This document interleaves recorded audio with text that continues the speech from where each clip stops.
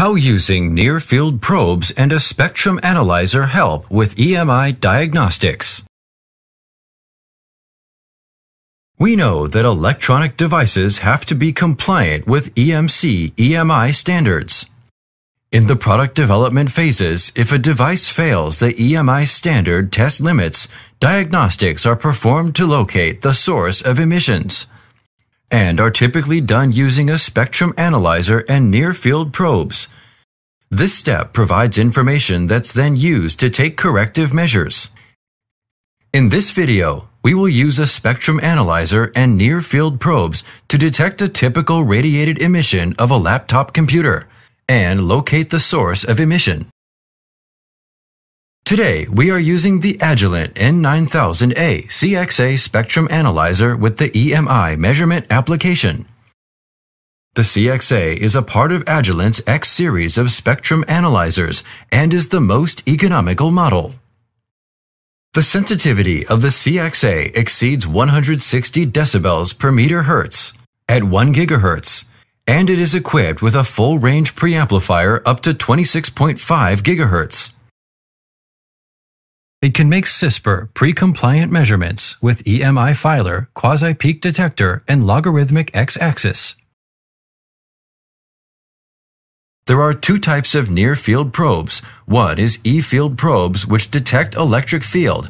The other is H-field probes which detect magnetic field from emission sources. H-field probes are more commonly used to locate emission sources in near-field tests because the H-field fades faster than the E-field as the distance increases. In other words, H-field probes provide better resolution. Today, we are using an Agilent N9311X100 near-field probe set. You can see there are four probes in the N9311X100 set. They are all H-field probes. Probe number 1 has the largest diameter. It is the most sensitive and therefore has the lowest resolution. It can be used at distances up to 10 centimeters from the unit under test.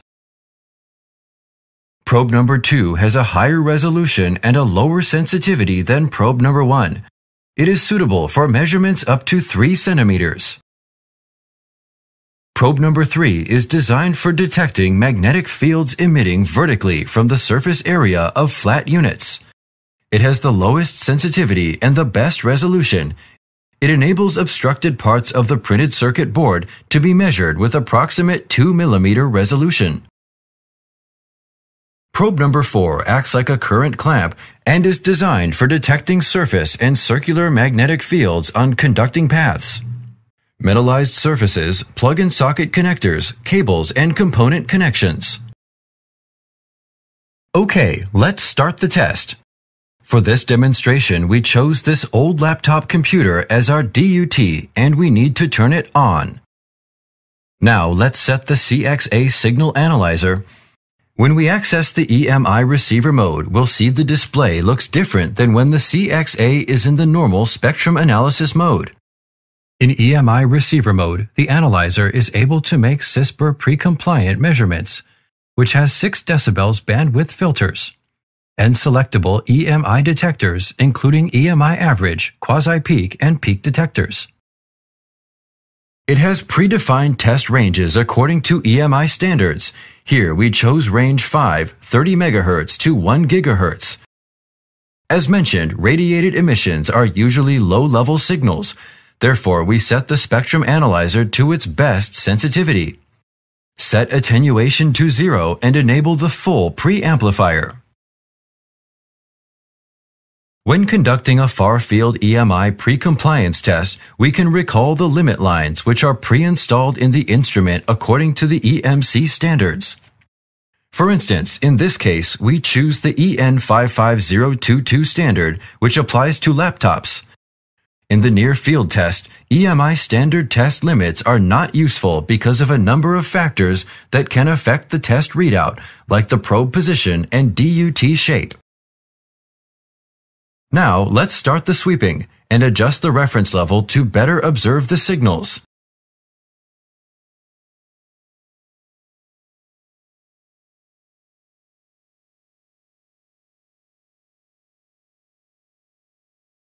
Once the spectrum analyzer settings have been selected, we connect the probes. We begin using probe number 1, which has the best sensitivity, to obtain the suspicious signal. The display shows that there are two obvious signals around 800 MHz to 900 MHz, even though we haven't placed the probe close to the laptop. These are cellular signals which we'll ignore in our testing as they are not generated by the DUT. We move the probe over the back of the notebook at a distance around 2 centimeters.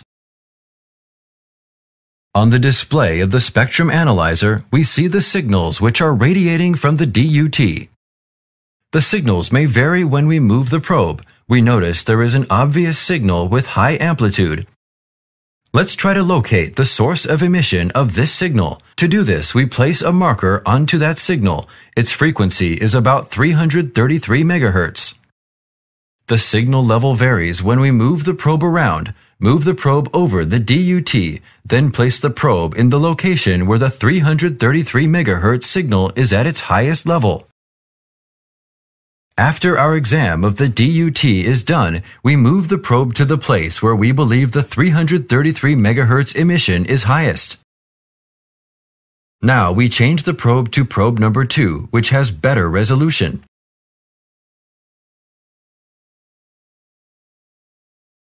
By moving the probe around on the DUT, we can narrow the test range. In this case, the highest level of 333 MHz signal is lower than what we observed by using probe number 1. However, we get better resolution to locate the source of emission. Like before, we place the probe where we obtained the 333 MHz signal at its highest level. Now we remove the cover to perform deeper analysis.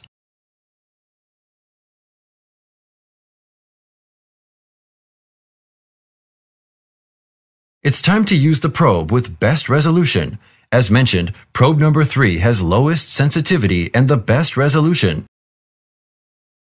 This probe helps us see that the emissions are coming from the memory chip slot.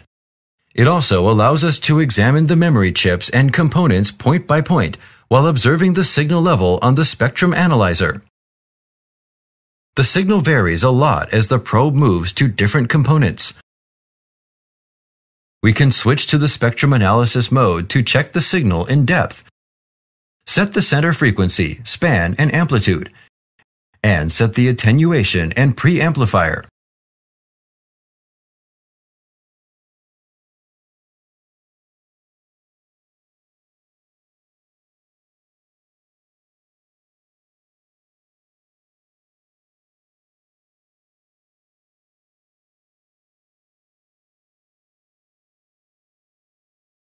This allows us to observe the signal better. It looks like a broadband digital signal with center frequency around 333 MHz. We know that it's the clock frequency of DDR333 SD-RAM. We continue testing the components and finally locate the components which generate the highest emissions. To summarize, for this demonstration, we've used the N9000A CXA with EMI measurement application and probe set. This configuration is the most cost-effective X-Series signal analyzer solution for performing pre-compliance conducted and radiated emissions testing for both commercial and MIL standard requirements.